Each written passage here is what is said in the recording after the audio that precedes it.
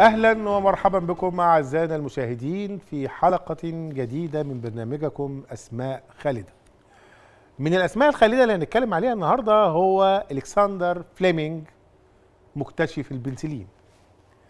ألكسندر فليمنج اتولد في إكسوتلندا آه، إسكتلندا سنة 1980 وبعد تخرجه من المدرسة الطبية بلندن انشغل فليمنج في دراسات التعقيم ولما التحق بالجيش في الحرب العالمية الأولى كان مهتم يعني كان مهتم شديد الاهتمام بالجروح والعتوة ولاحظ إن كتير قوي من المطهرات بتؤذي خلايا الجسم أكتر مما تؤذيها الميكروبات نفسها. عشان كده أيقن فليمنج إن الذي تحتاج إليه هو مادة بتقضي على البكتيريا وفي نفس الوقت ما بتأذيش خلايا الجسم. عشان كده سنة 1922 في نهاية الحرب العالمية الأولى آه ذهب إلى معمله يستكمل دراساته وبعدها اهتدى إلى مادة أطلق عليها اسم ليسيو ليسوزيم الليسوزيم المادة دي بيفرزها الجسم الإنساني عادي جدا وهي بتقضي على بعض الميكروبات. ولكن مع الأسف المادة دي ما بتقضيش على كل الميكروبات الضارة بالجسم. ولكن اكتشافه العظيم حدث سنة أو خرج للنور سنة 1928 ده لما تعرضت أحد مزارع البكتيريا اللي هو كان بيشتغل عليها مزرعة بكتيريا في أجار وكده يعني للهواء. تعرضت المزارع ديت للهواء وتسممت ولاحظ فليمنج إن البكتيريا بتذوب حول الفطريات في المزرعة اللي هو كان عاملها في المعمل يعني مزارع بكتيرية استنتج من دوت إن البكتيريا بتفرز مادة حول الفطريات والمادة دي قاتلة للبكتيريا طبعا كانت البكتيريا اللي هو شغال عليها البكتيريا العنقودية أطلق على هذه المادة اسم البنسلين يعني إيه بنسلين؟ قال لك يعني العقار المستخلص من العفونة، العفونة اللي هو الفطر. هطلع منه عقار. إن هذه المادة اكتشف طبعا إن المادة ديت مش سامة للنبات ولا الحيوان. ونشر نتائج آه، أو نشرت نتائج فليمنج أبحاث فليمنج سنة 1928 وبعدها أعلن فليمنج إن هذا الاكتشاف من الممكن إن يكون له فوائد طبية خطيرة جدا بس لم يستطع أن آه، يبتكر طريقة لاستخلاص هذه المادة. يعني ما عرفش بقى يستخلصها تجاريا يعني أو تنقيتها. وفضل هذا العقار السحري عشرات أو عشر سنين تقريبا عشر سنوات دون أن يستفيد حد منه. ولكن طبعا أخيرا سنة 1930 اتنين من الباحثين قروا آه، اتنين من الباحثين البريطانيين هم هوارد فلوري وإرنست تشين قروا عن ما كتبه فليمنج أو اللي كتبه فليمنج أو اللي نشره فليمنج عن اكتشافه الخطير وبعدها أعادوا نفس التجارب. ابتدى لما قروا الأبحاث قال لك نعمل نفس التجارب اللي عملها فليمنج وجربوا نفس المادة على حيوانات المعمل وسنة 1941 استخدموا البنسلين على المرضى وأثبتت تجاربهم إن العقار ده أو العقار الجديد في غاية الأهمية.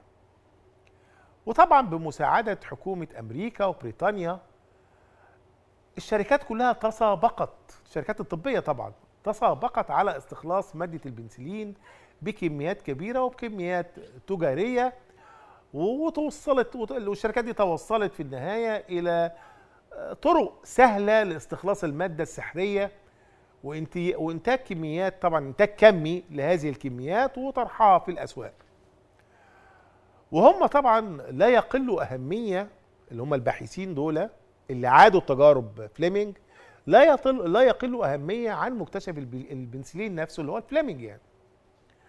ولما انتهت الحرب العالمية الأولى سنة 1945 أصبح البنسلين في خدمة المجتمع في كل العالم يعني.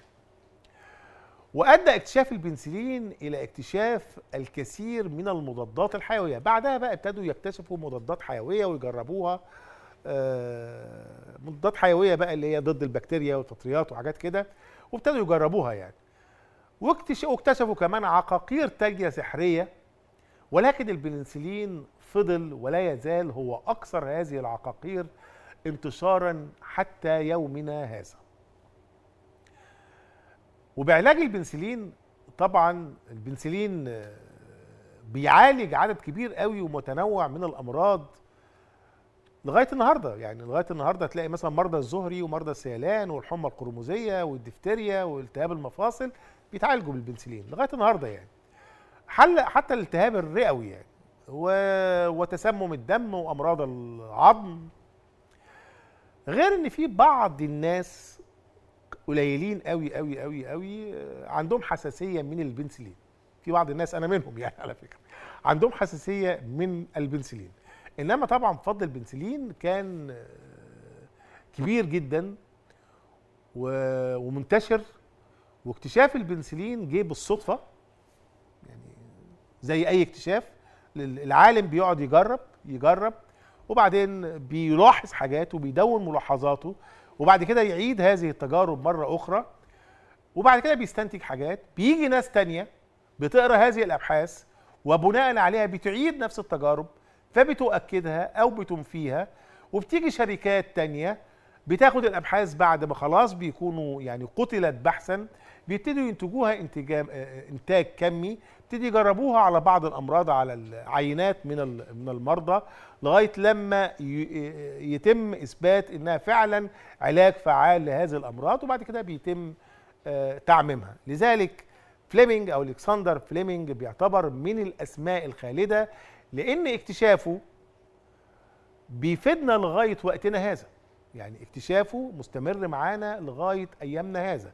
لغاية النهارده في حقن بنسلين وفي حاجات الناس بتحط بنسلين على الجروح إلى وقتنا هذا الشركات الطبية آه، بتنتجه. فطبعا الكسندر فليمنج بيعتبر اسم من الأسماء الخالدة في عالم الاكتشافات الطبية أو في عالم ال bacteriology أو في عالم ال mycology عالم الفطريات عالم البكتيريا. عالم العقاقير اسم من الأسماء الخالدة وهيظل اسم من الأسماء الخالدة في كل الأوساط العلمية. هو ألكسندر فليمنج كسندر فليمنج ناس بتشتغل كويس ناس بتجرب ناس بتدون ملاحظاتها.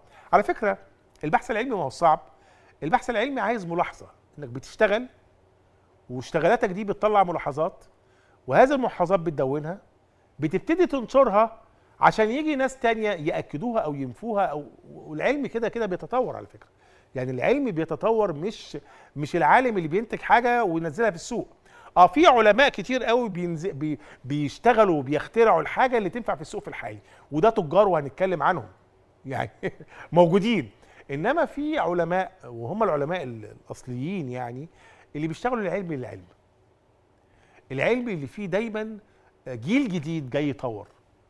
أنا بعمل حاجة وجيل جديد جاي يطور وبيحصل التطوير.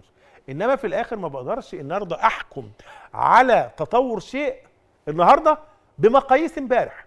لا كل عصر وله مقاييسه. لذلك ألكسندر فليمنج اسم من الأسماء الخالدة قيمه وقامه اخترع لنا شيء أو ابتكر لنا شيء أو لاحظ بتجاربه أشياء أو شيء ابتدى على أساسها آه، أمراض كتير ما كانش ليها علاج ابتدى يكون ليها علاج. هو الكسندر الكسندر فليمنج مكتشف البنسلين. نشوفكم في حلقة جديدة من في اسم جديد من أسماء أو من الأسماء الخالدة. والسلام عليكم ورحمة الله وبركاته.